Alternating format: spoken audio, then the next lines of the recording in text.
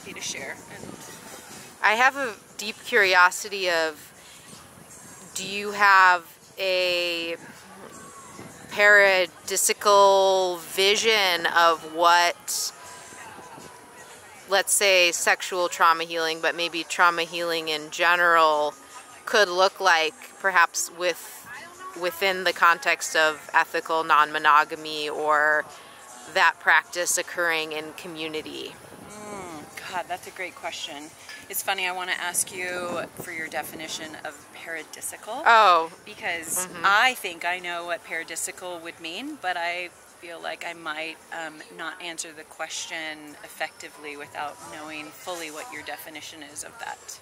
Just, you know, in alignment with, um, let's say, like reciprocity and mutual joy and uh, respect for the earth, you know, this sort of thing. And it doesn't have to be so high reaching, but yeah. sort of some, like what are we growing towards would be like my question without limit for perhaps maybe some of the things that we fall into or also you could comment on like what are the common pitfalls and yeah well what's what i find interesting about your question um, and i'm feeling called to embrace her um, I suspect, and I talk about this and I'm not jealous, I suspect that we as a race, a human race, a human society, we're moving towards um, communal love, towards your and my autonomy is recognized, acknowledged, and held with a reverence that allows us to not be owned or possessed. So that's a major theme in my book. That I believe the old system of marriage and um, partnership, where we give someone else the right to own our sexuality, give someone the right to um, own our calendar or own whether or not we hug another person or look at another person, you know, desiringly.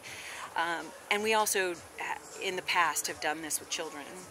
Um, I believe that the ownership model is flawed and causing a lot of the problems, specifically the problems with divorce. You know, um, well, I got married to you, um, we were supposed to go in this direction, you evolved to want to go in the other direction, and, you know, I don't want to go there, so we have to, like, kill off the relationship, disown each other, and that comes with a lot of trauma. And um, when we've shared the most intimate of details, I mean, even as far as having a baby with another person, an ending of that possessiveness, I suggest, is where the problems are falling.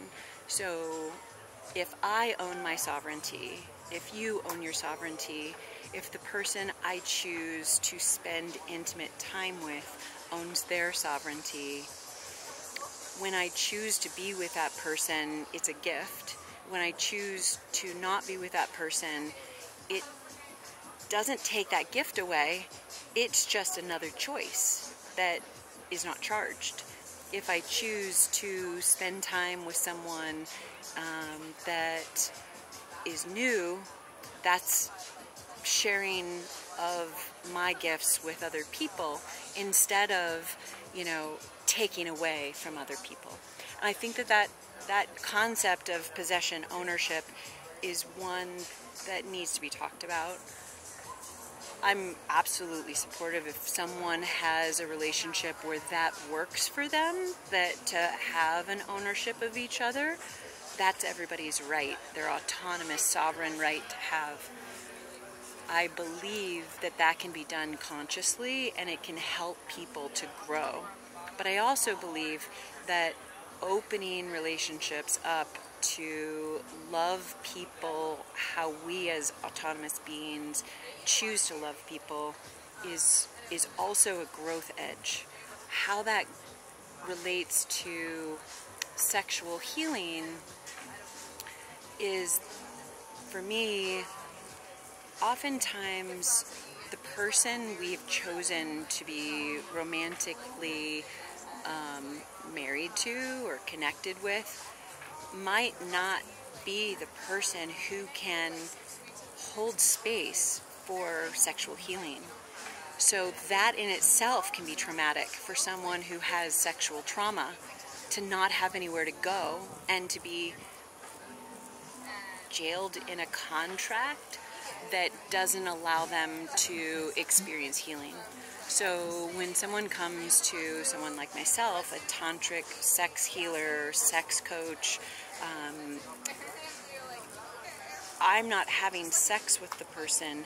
However, I take people on sexual journeys so that they have a safe, sacred space with someone that they feel comfortable with to be courageously vulnerable, to go through the eye of the needle. That's really hard to do with your partner. So I really feel like it's really important to have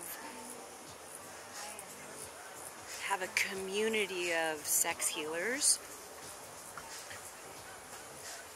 to allow a person to find a sex healer that resonates with them and for that not to be a, an experience that's considered sexual.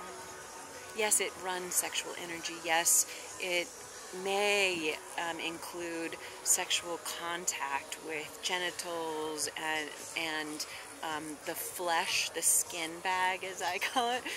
Um, but it doesn't mean that that person is, you know, breaking a, a vow um, to go have a sexual healing with someone. And that doesn't mean you're having intercourse.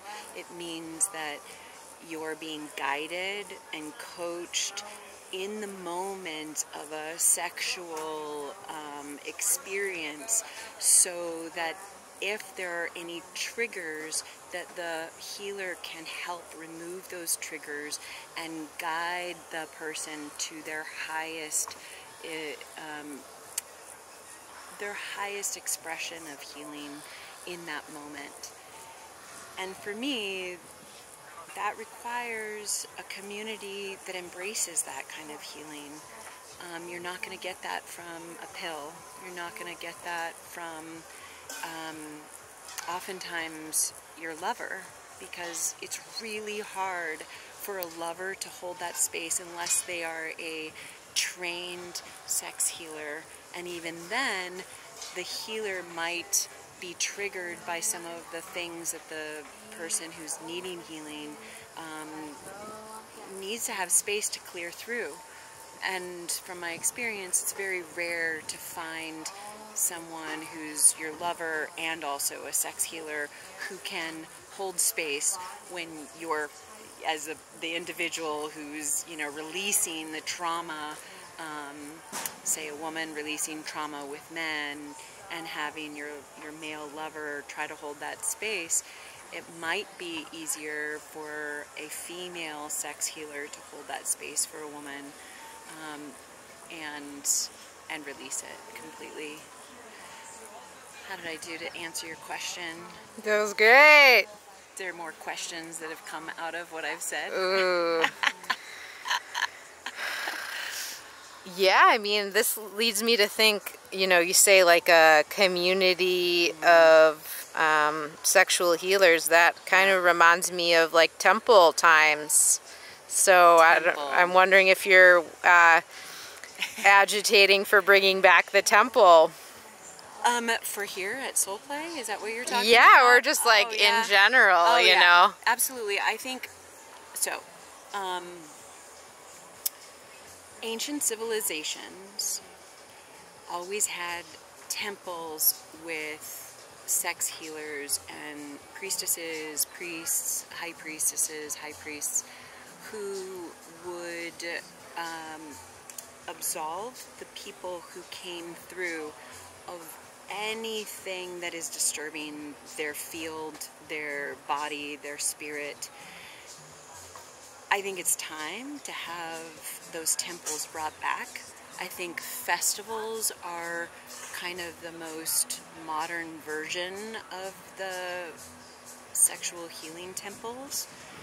And I've done what I can by creating during the pandemic a, a, mystery school called the Goddess Arts and Intimacy Academy. I think that there needs to be more initiation schools when all of us as humans who are curious about sexual healing can go through our own practice of healing purifying our experience of being human because we're really sexual pleasure beings. So if we can actually heal ourselves and then provide space for those who are wanting to also be initiated, I think that we're going to have a society that works where everyone's experience, their sexual identity, their um, gender identity, their, you know, how they want to experience intimacy with others is going to be honored and respected and have reverence for this beautiful practice, which I, from my own experience, I think is some of the most powerful healings that can happen because the height of vibration that a sexual healing provides anchors into the system the release and the purification, but it also anchors the new you walking out of the temple. And that's how ancient civilizations, you know, even healed the warriors that were coming back from war.